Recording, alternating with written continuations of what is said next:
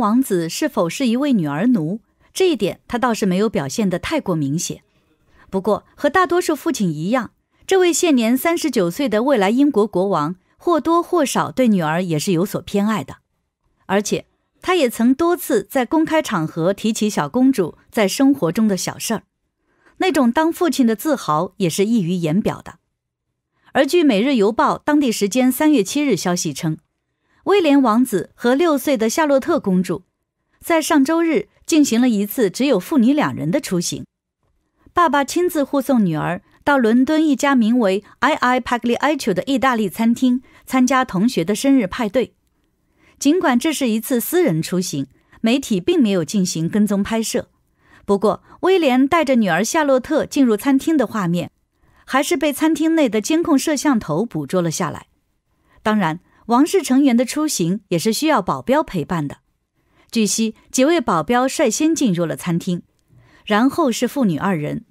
从画面可以看到，小公主穿了一件黑色的连衣裙，梳着公主头，很是优雅端庄的感觉。进店后，小公主在服务人员的引领下，很是迅速的去寻找她的同学去了，看上去很是自信。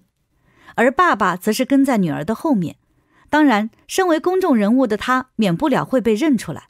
王子和餐厅老板握手致意，不过当对方提出合影要求时，却也被他婉拒了。威廉的手中拿着一个粉色包装纸包装的礼物，应该是夏洛特要送给同学的心意。据悉，威廉并没有一直陪伴在女儿身旁，几个小时后，他重返餐厅接走了女儿。而能和朋友们一起度过有趣的时光，夏公主也很是开心。这就是夏洛特参加同学生日派对的地方。据报道称，这里也是戴安娜王妃生前最喜欢的披萨店之一。当她在健身房锻炼之后，总会在这里停留，通常都会点意大利香肠披萨和玛格丽塔披萨，之后带回家和两个儿子一起分享。夏洛特公主和她的弟弟三岁的路易小王子。已经许久没有出现在公众视野中了，倒是他们的大哥八岁的乔治小王子，不久前和威廉王子、凯特王妃一起现身特维克纳姆体育场，观看了一场橄榄球比赛。有爸爸妈妈在身旁呵护，小王子显得很放松，吐舌头的样子也很是顽皮。近来有消息称，威廉一家五口可能会搬离伦敦市区。准备到距离伦敦市区一个小时车程的温莎地区居住，而现在他们所居住的肯辛顿宫将会只作为夫妻两人的工作地点，而不是日常生活的地方。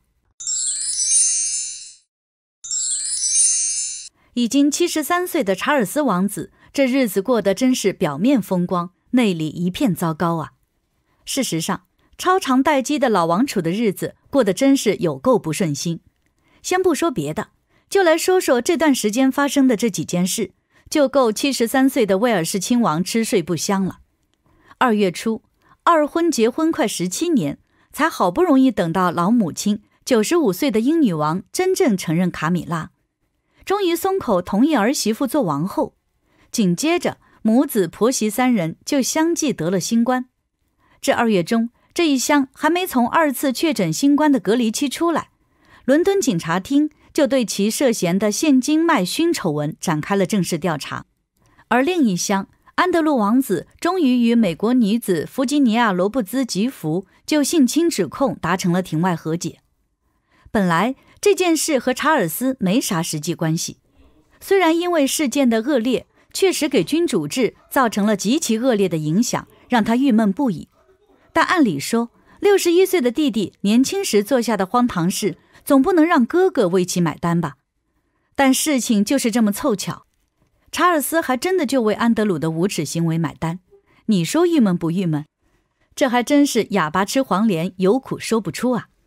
据外媒报道，在其达成的和解协议中，安德鲁需要支付给吉弗女士一千两百万英镑的赔偿金，其中两百万英镑需支付给吉弗的慈善机构，并且。必须在三月十七日之前按协议规定的期限付款。这笔数额巨大的巨款可真是愁坏了安德鲁。因为这件事的致命影响，英国民众的眼睛也都全部擦亮。生怕九十五岁的英女王犯糊涂，用公共现金给儿子抹糊涂账。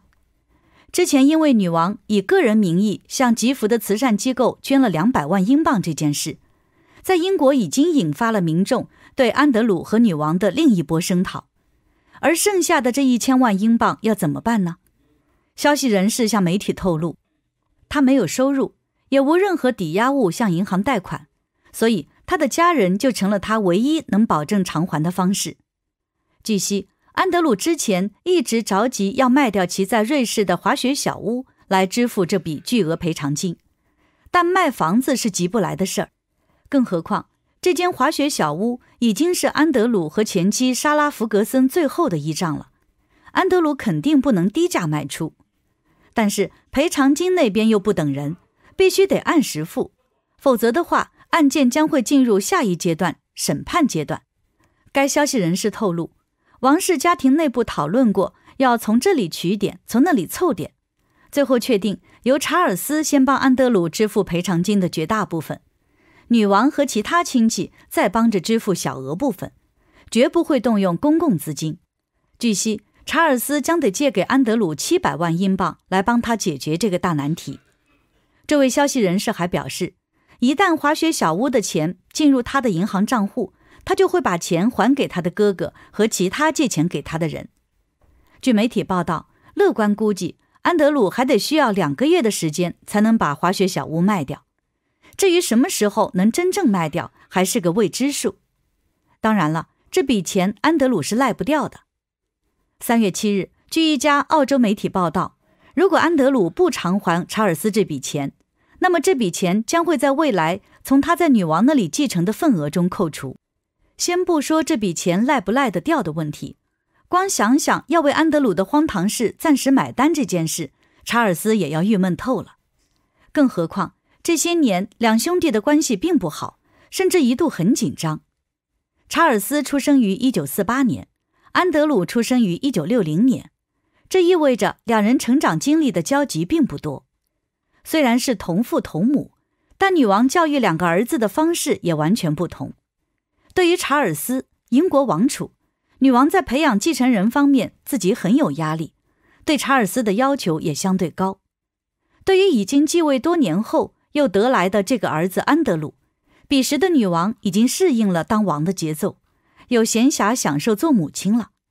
王室作家凯瑟尼科尔曾在某个纪录片中提到，查尔斯和安德鲁之间的关系非常紧张，但安德鲁和他们母亲的关系很不一样。女王对安德鲁更亲和，也更亲力亲为。在女王的眼中，这个儿子就不会做错事情。英王室专题记者 Penny Junior 说：“我认为女王在安德鲁王子的问题上总是有盲点。”二十世纪八十年代，因为两人妻子的关系比较密切，两兄弟的关系趋于缓和。据悉，戴安娜王妃和莎拉在结婚前就已经认识了，在加入王室后。两人的关系变得更亲密，因为妻子的缘故，两家人在一起相处度假的时间就多了起来。因此，查尔斯和安德鲁的相处也变得融洽了许多。然而，好景不长，两段婚姻都没有持续到最后。于是，女王的长子和二儿子的关系又恢复到了原来的僵局。这些年，因为尤金妮公主和翠碧丝公主的保安问题，查尔斯和安德鲁闹得相当不愉快。当然了，这一切都要归咎于查尔斯的缩减君主制的长远构想。据悉，一月份安德鲁被剥夺头衔的事件中，查尔斯父子起了决定性作用。王室专家罗伯特·乔布森向媒体透露，安德鲁王子因为自己被王室抛弃而伤心欲绝，但从女王、查尔斯和威廉的角度，他们别无选择。据悉，包括此次这么迅速地达成和解协议。也是女王向安德鲁施了巨大压力，要求他尽快结案。据消息人士透露，这个案子在国际媒体的聚光灯下进行审判是不可想象的。在听了查尔斯和威廉的建议后，女王要求安德鲁必须尽快解决这个问题。